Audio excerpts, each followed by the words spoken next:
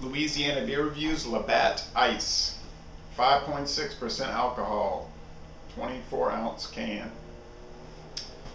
Labatt Ice was introduced in 1993 and it was the first ice beer in North America and it set off the ice beer craze of the 90s. Labatt is an Anheuser-Busch brand these days. Actually, InBev.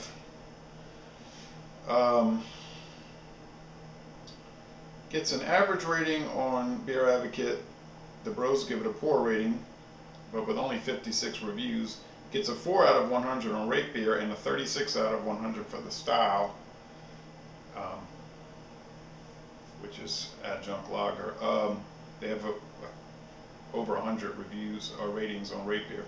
I've never had this before. Uh, someone requested that, that I do a Canadian beer on today, July 1st, 2012, which is Canada Day, formerly known as Dominion Day, which in which they celebrate the establishment of Canada in 1867. Okay, let's get started.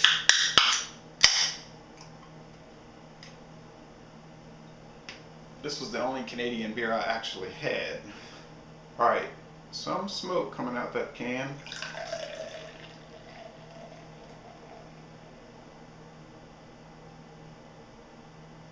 Gotta be careful it doesn't spill because these have a tendency to spill. Okay, well, typical American style lager, thick white head, uh, yellow golden bubbly appearance, not super bubbly, but bubbly. I don't know if it's showing up, the light in here is not terrific. Uh, let's go with the smell test. As one would expect, get the uh,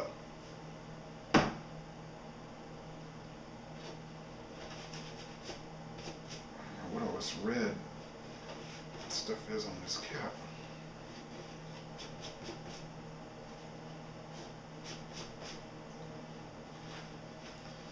Get a thick, I mean, a, um, rich, got distracted by that, um, kind of a rich uh, malt liquor type aroma,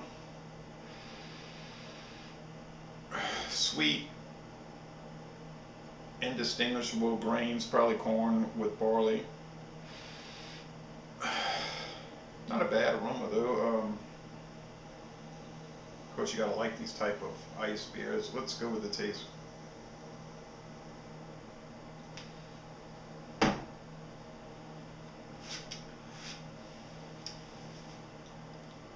Really sweet, rich. Um, some corn, like a sweet corn, cream corn, malt, not a whole lot of uh, hops really at all. Uh, get sort of an underlying malt liquory alcohol, maybe semi-cloying uh, undertaste. Decent amount of lacing though. Um, the mouth feel is it's pretty light and watery, and the finish is crisp, clean. It's refreshing. It's very dry. Um, well, for our, an ice beer, it's right up there with your Ice House, Bud Ice, um, Molson Ice, um, those type of things. The Bud Ice you got to watch out for because sometimes it'll be in the clear bottle and that can cause it to be skunky. You wouldn't have to worry about this situation in a can. I think it's pretty inexpensive. I bought that in New York City. I think it was a dollar twenty, something like that, dollar twenty-five maybe. Um, how would I rate this? Uh, right. Let's see. It's pretty enjoyable. Um,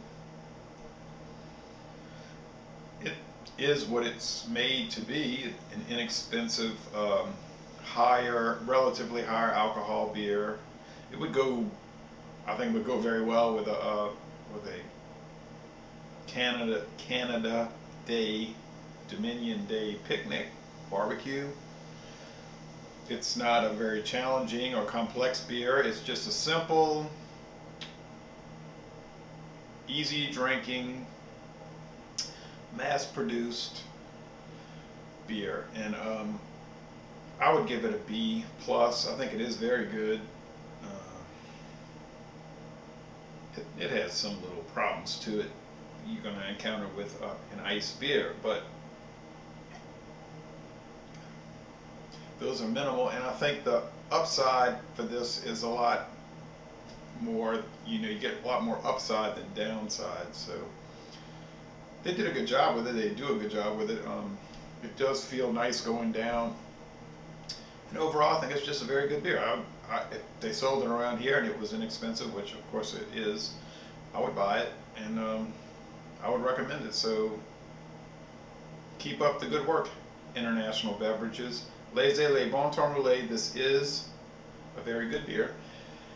And I'm going to end this review by saying, y'all go over and visit Canada.